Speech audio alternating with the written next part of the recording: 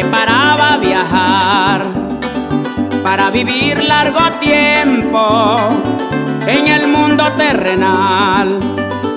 Daba vuelta y preguntaba el por qué se iba a alejar de su hermoso paraíso, tan lindo y tan especial tan lindo y tan especial. Se abrazó con su creador, este lo vio sollozar, con una suave sonrisa, Dios comienza a preguntar que le diera los motivos por qué no quería aceptar. Y el angelito contesta: Yo no te quiero dejar, ¿por qué me cortas mis alas? ¿Cómo haré para volar? Por lo que escucho allá abajo, me van a tratar muy mal. Por ese presentimiento, más bien me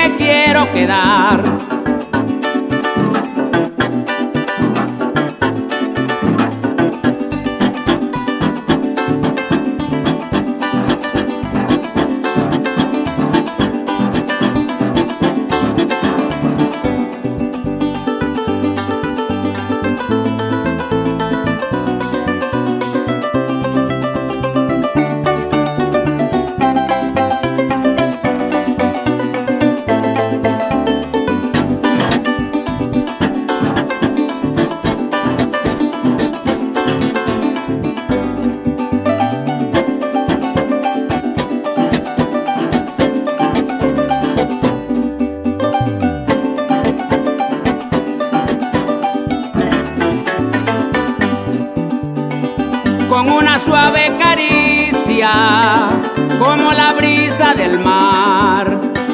Dios abraza a su angelito y le comienza a explicar, te voy a hacer pequeñito para que puedas pasar de mi hogar hasta la tierra por un túnel maternal,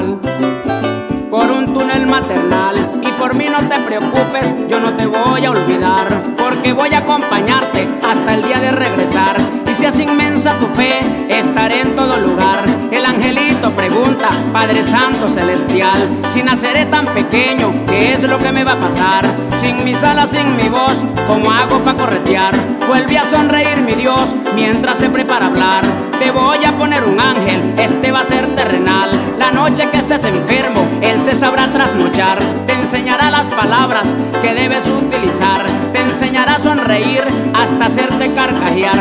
A dar los primeros pasos, a sentir y a navegar. En el río de la esperanza, sin que puedas naufragar. En ese instante en la tierra, el cuarto de un hospital recibe una parturienta que se prepara a alumbrar. Contracciones y dolores se comienza a presentar. Dios le dice al angelito, ya te tienes que marchar. Acuérdate de tu fe, te En ese preciso instante. Se comienza a despegar el angelito del cielo, pero alcanza a preguntar, dame el nombre de ese ángel, ese que me va a